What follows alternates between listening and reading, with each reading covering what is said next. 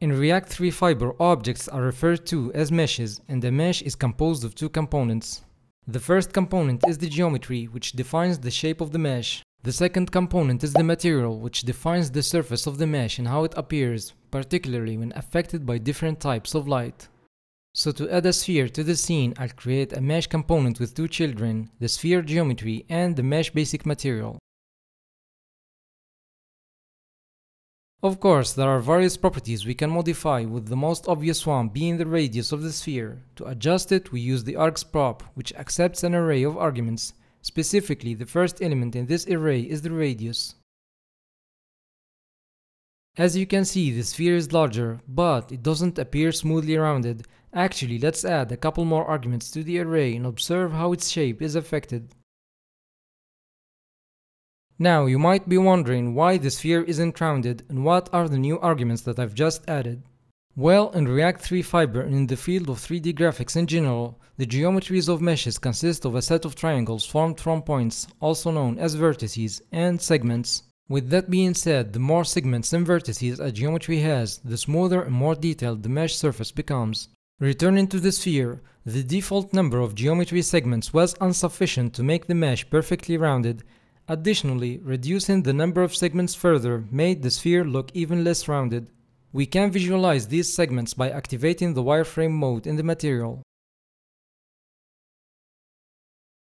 Now let's increase the number of segments and observe how the sphere changes. By the way, the second element of the array represents the number of width segments, while the third element represents the number of height segments. React Three Fiber offers various geometries that we can use, so for example to add a cube we can use the box geometry. To change the dimensions we use the args prop. The first three elements of the array are the width, height and depth. Now to change the material's color we need to use the color prop. We can use the name of the color or its hexadecimal representation.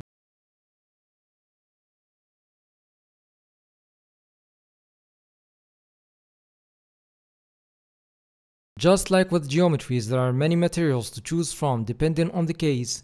That said, let's use the mesh Phong material this time.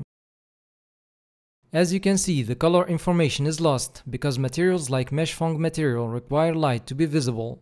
So let's add a light source and by the way, I'll cover more about lights in a future video.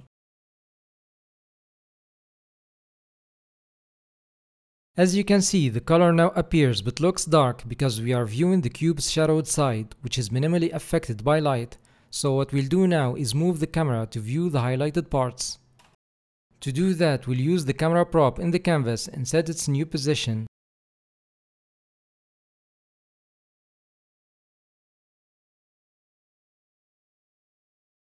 We also have the mesh toon material which gives objects a cartoonish look. For a better visualization of the effect, I'll use the torus knot geometry this time.